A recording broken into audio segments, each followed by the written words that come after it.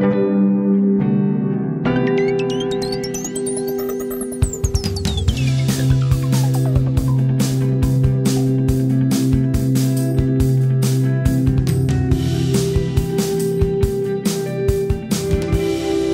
Bonjour, ben, Guy Duvivier, euh, CIO de Sopra Banking Software euh, pour le Benelux. Nous sommes un leader de logiciels bancaires et euh, acteur majeur dans le digital pour les banques depuis maintenant 40 ans. Sopra Banking Software, c'est 4000 personnes, dont 650 au Benelux, et nous travaillons dans 70 pays pour 800 clients plus ou moins. Solidarity, c'est votre idée? Comment est-ce que ça vous est venu? Donc, Solidarity, ça vient d'un changement que nous avons réalisé dans notre entreprise il y a 5 ans, qui était de décider d'acheter notre matériel IT en fonds propres. Donc euh, je me suis retrouvé l'année passée avec les premiers PC qui revenaient, et je me suis dit, qu'est-ce que je fais de ces PC Et là, l'idée a germé de dire, bah, nos collaborateurs sont contents de racheter du matériel à prix modique, et faire bénéficier cette vente à 100% à une ONG. Et donc chaque centime récolté dans la vente du matériel IT va à 100% pour SOS Fin. Et ça nous permet aussi de répondre à des normes ISO sur le recyclage, puisqu'au lieu de recycler, on donne une deuxième vie à notre matériel. Vous avez impliqué votre personnel fatalement dans ce projet. Comment est-ce qu'il a réagi? Euh, ben De manière très positive. J'ai rencontré des personnes, que ce soit des membres de la direction ou bien le personnel, qui ont été très réceptifs au projet. Et le bilan, je pense, est vraiment très très bon.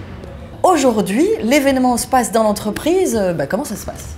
Eh bien, ça se passe très bien. Donc, euh, à l'heure où je vous parle, 90% du matériel a été vendu. Donc, je pense qu'on peut dire que c'est un très bon bilan. Vous direz que cette opération constitue un bonus pour l'entreprise d'impliquer tout le personnel dans ce type d'action?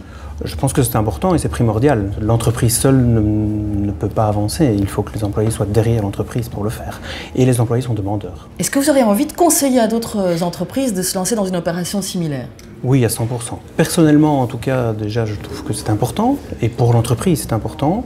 On fait plaisir à nos collaborateurs et on participe à une cause qui est SOS Fin. Pour convaincre d'autres entreprises de se lancer dans la même aventure, vous diriez que les obstacles se lèvent facilement? Des obstacles, il y en a évidemment. Euh, mais il y a des obstacles qui sont principalement légaux. Donc on parle des certifications ISO que nous devons respecter au niveau du recyclage, euh, au niveau du blanchiment des données de nos PC. Des obstacles fiscaux également. Euh, puisqu'on ne peut pas revendre un PC à n'importe quel prix. Euh, mais tout ça, avec le partenariat de SOS Fin, nous avons mis des process et des procédures en place pour passer outre ces obstacles et répondre justement à ces certifications ISO. Vous avez fait la rencontre avec SOS Fin. Comment ça s'est passé? J'ai rencontré des gens motivés. Et ces gens motivés m'ont donné envie de m'impliquer dans un projet de société qui pour moi aujourd'hui est primordial, qui est la fin dans le monde et la disparité nord-sud. Solidarity, c'est encore un projet pilote. Comment vous concluez cette première expérience?